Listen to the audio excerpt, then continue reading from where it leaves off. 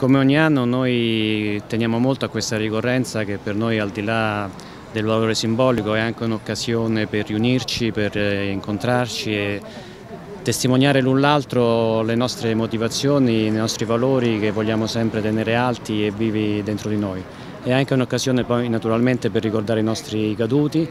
e onorare i nostri caduti per noi è anche un impegno quotidiano nel svolgere il nostro dovere sempre fino in fondo a tutela della collettività. Ah, oggi sono qui per celebrare la,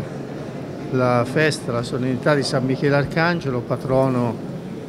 della Polizia di Stato. Credo che questo Arcangelo ci aiuta a capire come eh, siamo protetti. La Polizia ha il compito di proteggerci, di aiutarci, di sostenerci anche in questo tempo difficile con tutte le, diciamo, le limitazioni che abbiamo, ma io credo che oggi siamo qui in chiesa proprio per chiedere anche la protezione di Dio e dell'Arcangelo Michele,